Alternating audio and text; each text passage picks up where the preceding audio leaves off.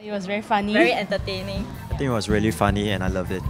Uh, yeah, same. So like I thought it was a good mix of like you know action and comedy. Uh, a lot of the characters they had like all sorts of crazy plans, all sorts of crazy ideas, and like there's a lot of twists during the movie, so it makes it like very interesting, very unexpected. Uh, It, it seems like an action movie that you, you, you know what's coming up, but actually it turns out to be even funnier than uh, what, what you thought it is. lah. I think the chief, yeah, Yeah. I find him I find him quite entertaining, quite amusing. Gong Myung, because it's really funny. Same, I'll probably recommend it to all my friends and families. yeah, same. Everybody.